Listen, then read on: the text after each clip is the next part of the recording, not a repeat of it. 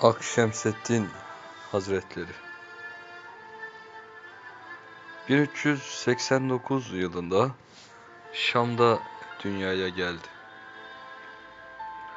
7 yaşında iken babasıyla Anadolu'ya gelip Amasya'ya yerleştiler. Küçük yaşta Kur'an-ı Kerim'i ezberledi. Soyu Hazreti Ebu Bekir'e dayanır. Asıl adı Muhammed'dir. Babasının adı Şeyh Hamza'dır. Dedesi ise Şeyh Hacı Ali'dir. Akşemseddin Hazretleri dini ilimler tahsilini tamamladıktan sonra Çorum Osmancık Medresesi'ne müderris oldu. Daha sonra Hacı Bayram-ı Veli Hazretlerine intisap etti. Tarihi bilinmemekle beraber İran, Mavera Ün Nehir ve Suriye gibi beldeleri gezip dolaştı. Kısa sürede Hacı Bayram-ı Veli Hazretlerinden hilafet aldı. Hacı Bayram Hazretlerine bazı dervişlere 40 yıldır halifelik vermedin de az bir zaman içinde Ak Şeyh'e halifelik verdin diye soranlara bu bir zeyrek, çok zeki, köseymiş. Her ne kim gördü ve işitti, inandı. Hikmetini sonra kendi bildi. Ama bu 40 yıldan beri hizmet eden dervişler gördüklerinin ve işittiklerinin hemen aslını ve hikmetini sorarlar diyerek Akşemseddin Hazretlerinin tam teslimiyetini ve itikadını takdir etmiştir. Akşemseddin Hazretleri halife olunca önce Bey Pazarına yerleşmiş, Orada bir mescit ve değirmen inşa ettirmiş. Sonra halkın çevresinde fazlaca toplanması üzerine İskilip'te Evlek'e göç etmiş. Oradan da Göynük'e gidip yerleşmiştir. Hacı Bayram-ı Veli Hazretleri vefatından önce beni Akşemseddin yıkasın ve namazımı kıldırsın demiştir. Etrafındaki dervişler Akşemseddin çok uzaklarda. Herhalde şeyhimiz bu sözleri sekeratın dalgınlığı ile söyledi diye düşünürlerken bazıları da bu sözlerin bir hikmeti olmalı demişlerdir. O sırada da Akşemseddin Hazretleri çıka gelmiş ve şeyhinin vasiyeti üzere son görevini yerine getirmiştir. Akşemseddin Hazretleri Göynük'ten zaman zaman o zamanki devlet merkezi Edirne'ye de giderdi. Yani kendisi Göynük'te olmakla birlikte çok geniş bir alanda irşat faaliyetlerini sürdürürdü. Akşemseddin Hazretleri tıp ilminde büyük bir otoriteydi.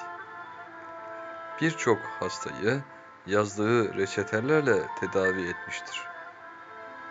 Tedavi ettiği kişiler arasında Fatih'in kızı ve Çandarlı oğlu Süleyman Paşa gibi meşhurlar da vardır.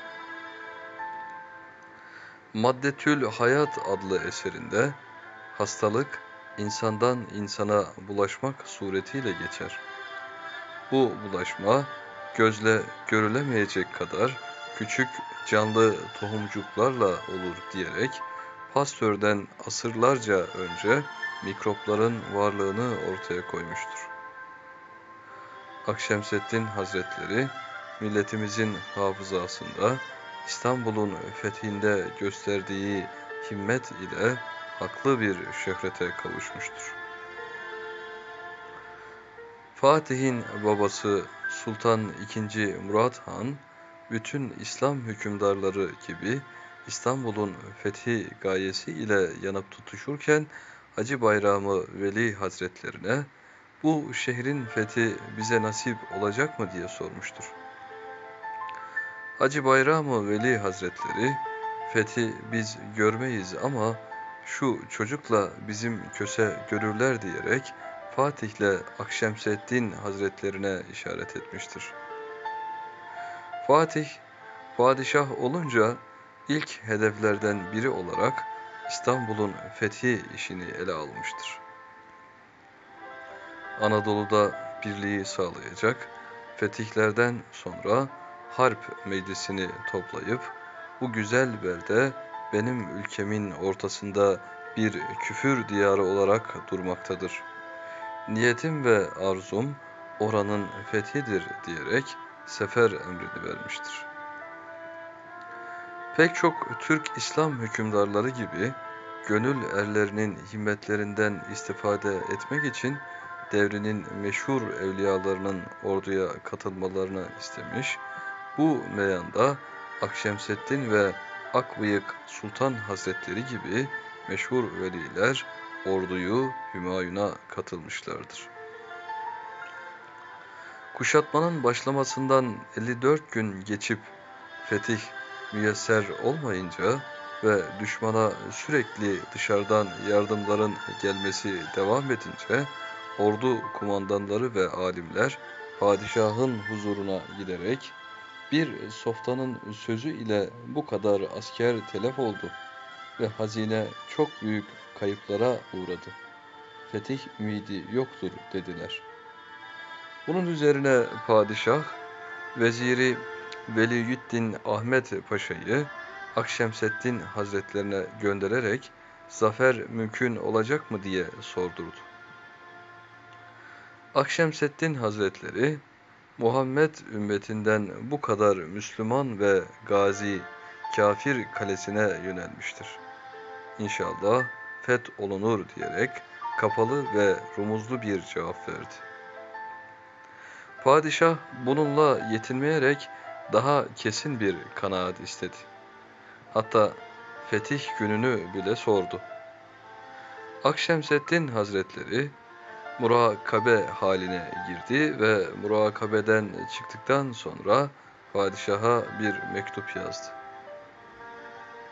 Bu mektupta özetle düşmana yardım gelmesinin ve fethin uzamasının kafirleri sevindirdiği, padişahın planlarının yetersizliği ve kendi dualarının kabul olmadığı gibi ithamlara yol alan ordudaki gevşekliğin ve ümit kırıklığı müsebbiplerinin cezalandırılması gerektiği, Kur'an'dan tefeül ettiğinde müjdeli işaretler görüldüğü, kulun tedbir alması gerektiği, takdirin ise Allah Celle Celaluhu'ya ait olduğu, bu defa şimdiye kadar gelmemiş beşaretler geldiği belirtilmektedir.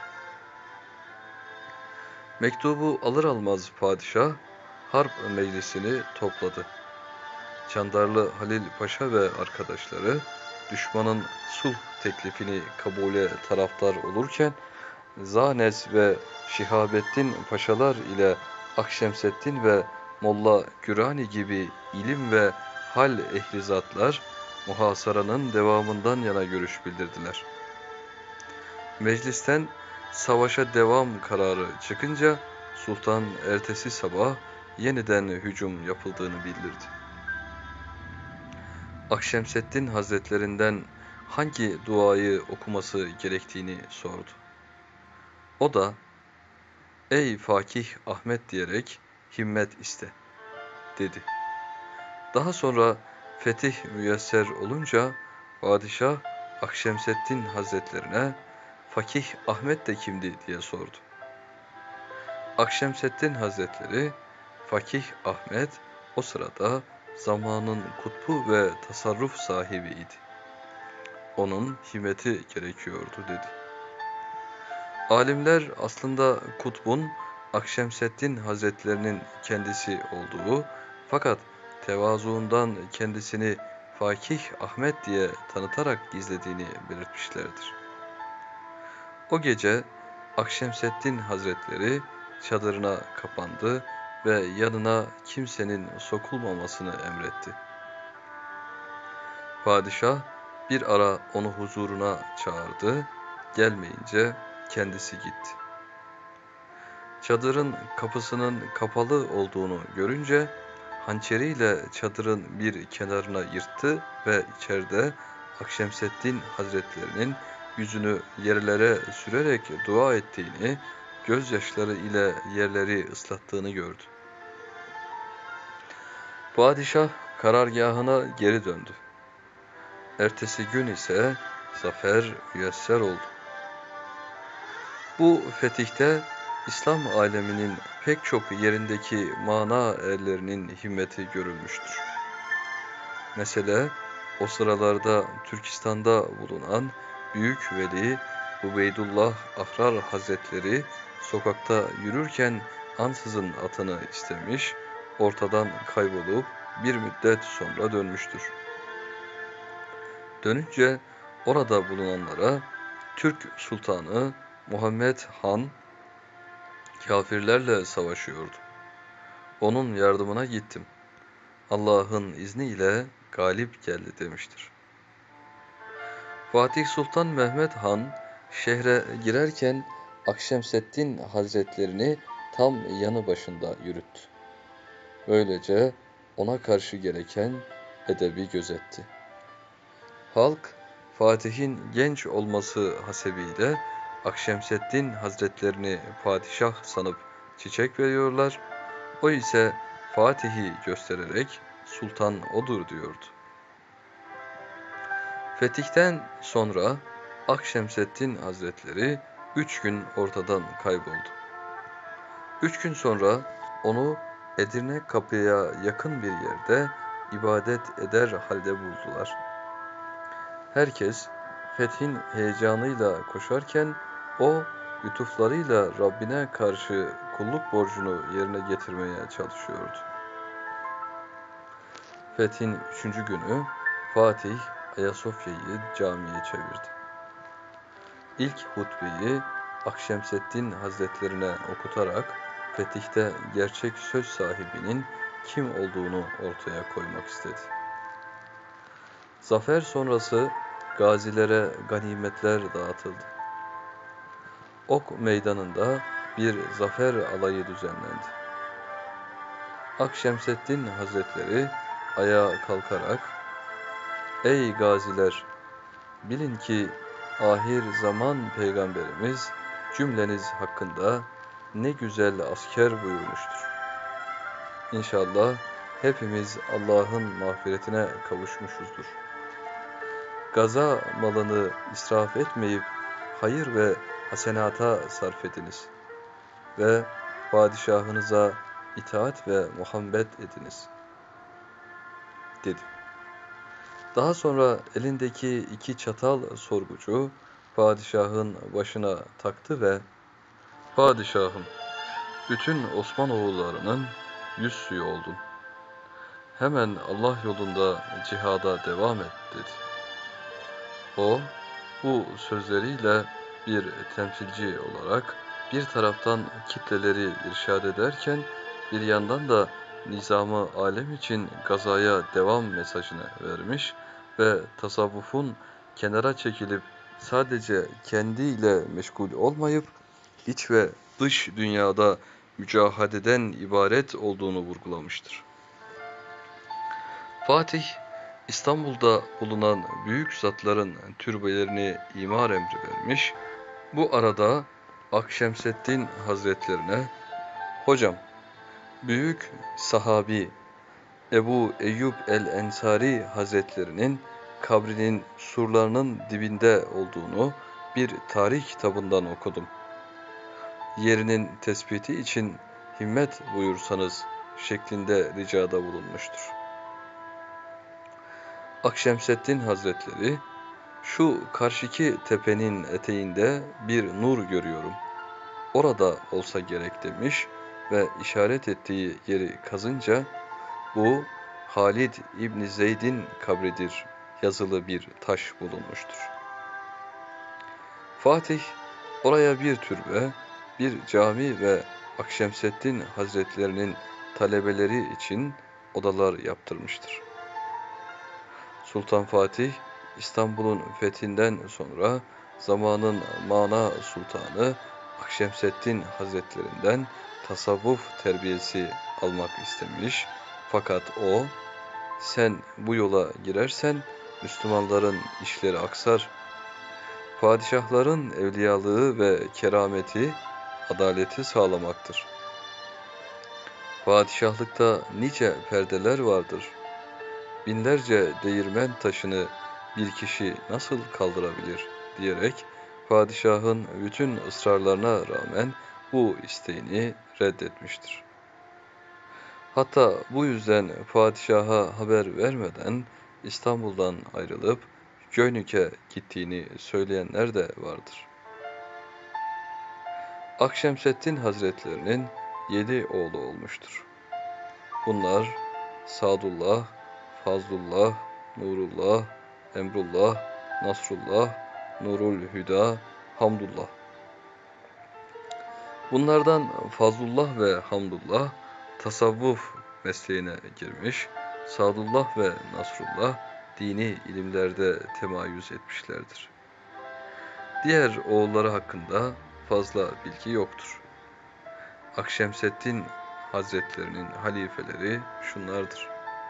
Oğlu Muhammed Fazlullah, Hamzetüs Şami, Şeyh Abdurrahim, Attaroğlu Müslehittin İskilibi, İbrahim Tennuri Hazretleridir. Akşemseddin Hazretleri 1458-59 yılında Göynük'te vefat etmiş ve oraya defnedilmiştir. Yerine oğlu Muhammed Fazlullah Poşnişin olmuştur. Eserleri Risaletün Nuriye, Def'i Metain, Risale-i Zikrullah, Risale-i Şerhi Ekvali Hacı Bayram-ı Veli, Telhisi Defü Metain, Makamat-ı Evliya. İlk beş eseri Arapça olup altıncısı Türkçedir. Ayrıca Nasihat Namesi Akşemseddin adında bir eser ona nispet edilir. Kabri nur, makamı cennet olsun.